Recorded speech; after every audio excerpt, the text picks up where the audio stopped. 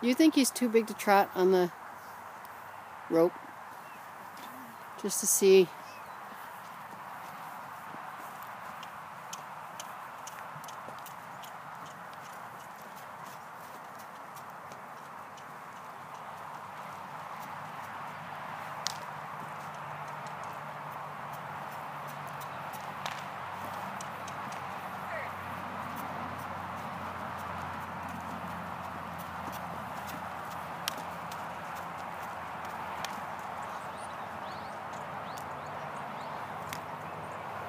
I don't think he gets it.